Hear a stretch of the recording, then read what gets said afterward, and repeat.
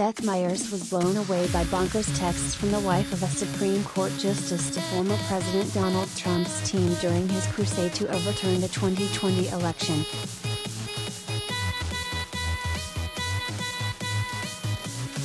The House panel investigating the January 6, 2021, Capitol attack said Thursday it had requested an interview with Ginni Thomas, wife of Clarence Thomas.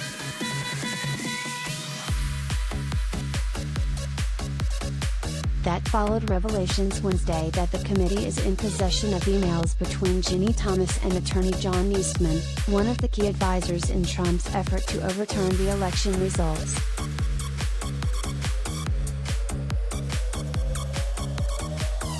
Previously revealed text messages show Ginni Thomas repeatedly contacted then White House Chief of Staff Mark Meadows with false and outlandish claims about electoral fraud in November 2020, including one in which she claimed a group of co-conspirators including the Biden crime family, elected officials, social media censorship mongers and others were being arrested and detained and would soon be living in barges off Gitmo, Guantanamo Bay detention camp, to face military tribunals for sedition.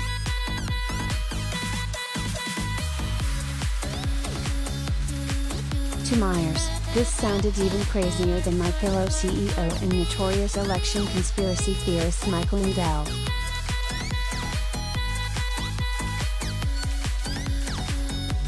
Those texts make Michael Lindell sound like a level-headed businessman, Meyers quipped on late night.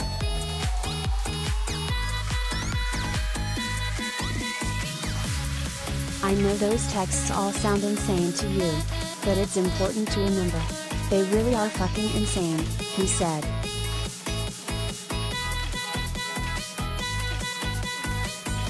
I think my favorite part is when she says the Biden crime family and ballot fraud co-conspirators will be living in barges of Gitmo. Obviously, all this stuff is bonkers, but I am curious about one thing. Why would they live in a barge off Gitmo? Like why wouldn't they just be sent to Gitmo?